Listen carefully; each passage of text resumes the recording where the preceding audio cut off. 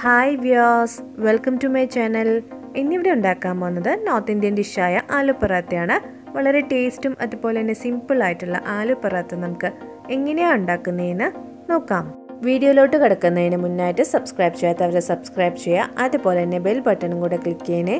എങ്കിലേ ഞാൻ അപ്ലോഡ് ചെയ്യുന്ന വീഡിയോസിന്റെ നോട്ടിഫിക്കേഷൻ നിങ്ങൾക്ക് കിട്ടത്തല്ലോ ആലു പൊറാത്ത ഉണ്ടാക്കാനായിട്ട് ആദ്യം നമുക്ക് മാവ് ഒന്ന് കുഴച്ചെടുക്കണം. അപ്പോൾ അതിനായിട്ട് ഗോതമ്പ് എടുത്തിട്ടുണ്ട്. ഇനി ഇതിലേക്ക് ഉപ്പ് ചേർക്കുന്നുണ്ട്. വളരെ കുറച്ച് ഉപ്പ് ചേർത്താൽ മതി.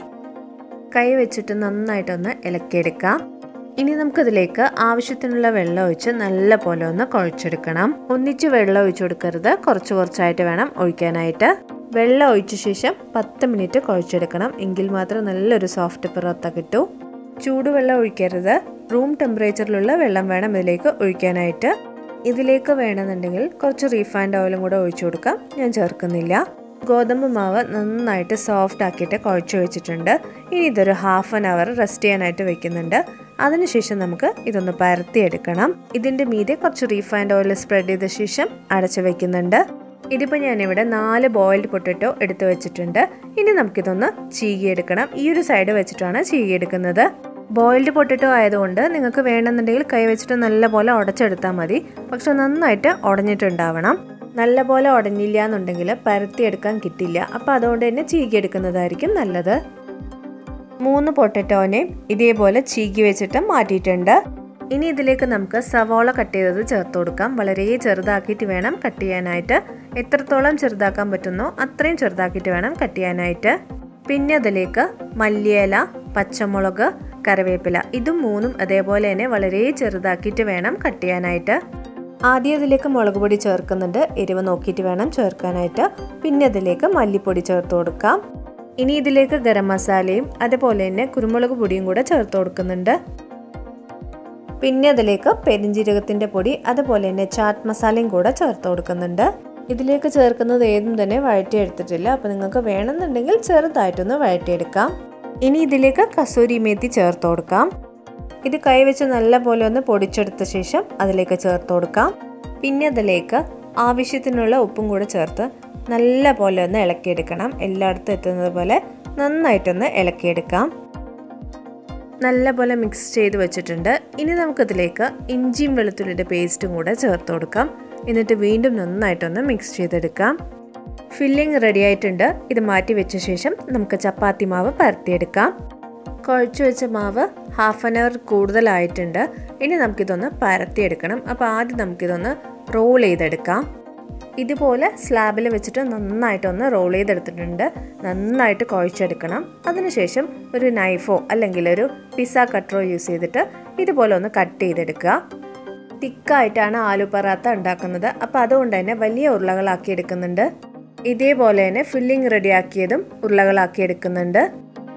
എല്ലാം ഉരുളകളാക്കിയിട്ട് അത് മാറ്റി വയ്ക്കുന്നുണ്ട് മാവ് കുഴച്ചു വെച്ചതെല്ലാം ഷേപ്പ് ആക്കിയ ശേഷം നമുക്കിതൊന്ന് പരത്തിയെടുക്കാം. ഇനി നമുക്ക് പരത്തിയെടുക്കാനായിട്ട് തുടങ്ങാം. അപ്പോൾ ആദ്യം കൈ വെച്ചിട്ട് ഇതുപോലെ ഒന്ന് ആക്കിയെടുക്കണം. ഇതേപോലെ കൈ വെച്ചിട്ട് നല്ലോണം ഒന്ന് പ്രസ് ചെയ്തെടുക്കാം. ഇനി ചെയ്യേണ്ടത് റെഡിയാക്കി വെച്ചിരിക്കുന്ന ഫില്ലിംഗ് എടുത്തിട്ട് ഇതിനകത്തോട്ട് വെച്ചു കൊടുക്കാം. അതിനുശേഷം ഇതുപോലെ ഒന്ന് കവർ ചെയ്ത് കൊടുക്കാം. ഇനി ഇത് ഫുള്ളായിട്ട് മാവ് വെച്ചിട്ട് കവറായി കിട്ടണം. അതിനുശേഷം വീണ്ടും ഒന്ന് ഉരുളകളാക്കിയിട്ട് ഒന്നുകൂടെ ഒന്ന് പരത്തിയെടുക്കണം. ഫില്ലിംഗ് മാവിനകത്തോട്ട് ഇട്ട ശേഷം മുഴുവനായിട്ട് കവറായിട്ടുണ്ടോ എന്ന് നോക്കണം. അപ്പോൾ ഇനി നമുക്ക് സാധാരണ ചപ്പാത്തിയൊക്കെ പരത്തുന്നത് പോലെ പരത്തിയെടുക്കാം. ഇതുപോലെ ഒന്ന് ഗോതമ്പ് പൊടിയിൽ ഇട്ട ശേഷം ഇനി നമുക്ക് പരത്തിയെടുക്കാനായിട്ട് തുടങ്ങാം.